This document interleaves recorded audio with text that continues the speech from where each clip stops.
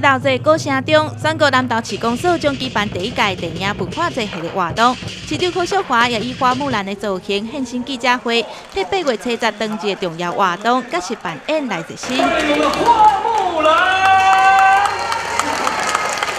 南投市公所将伫八月七十举办第一届电影文化节，今日举办老侪盛大记者会，真济学校团体也热情参加。扮演电影中各式经典角色，来几个十号登记 cosplay 主题活动，将会老一个好耍。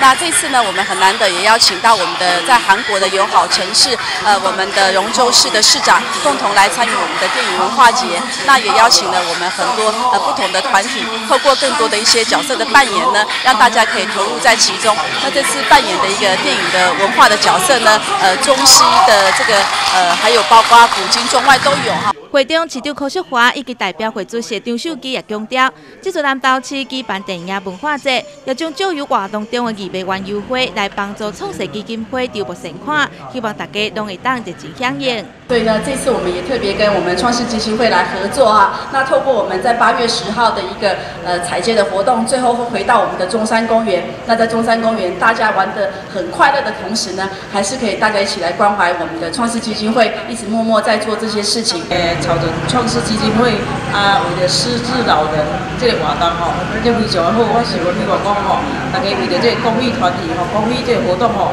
大家拢会当吼出一份力啦吼。八月七日，南投市电影文化节将为早起九点，在南投戏头前正式开场，进行假实扮演彩家活动到中山公园，加上预备甲无彩顶好耍好看的表演，以及当日活动将会精彩可期。记者金凤山采访报道。